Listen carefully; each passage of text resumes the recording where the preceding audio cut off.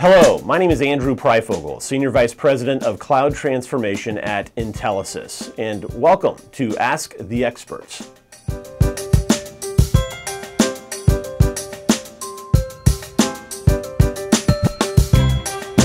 In some circles, Intelisys is known as a master agent, um, and uh, there are a lot of companies that, that would have that label of master agent. But I think a, uh, probably a more, uh, more appropriate descriptor of Intelisys would be that of a technology services distributor.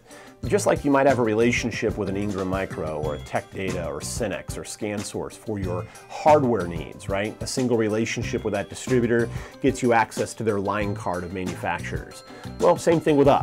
A single relationship with, with Intelisys gets you access to 75 different providers, both telecom carriers, uh, all the big ones you'd expect, network providers, as well as a bunch of next generation uh, cloud service providers, cloud solution providers.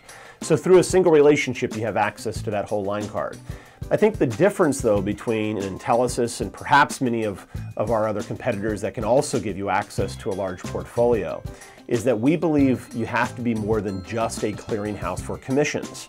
Um, and that certainly is uh, the main function of a distributor, right? Uh, a, a distributor that would uh, receive commissions from their suppliers and then pass on those commissions down to our sales partner community.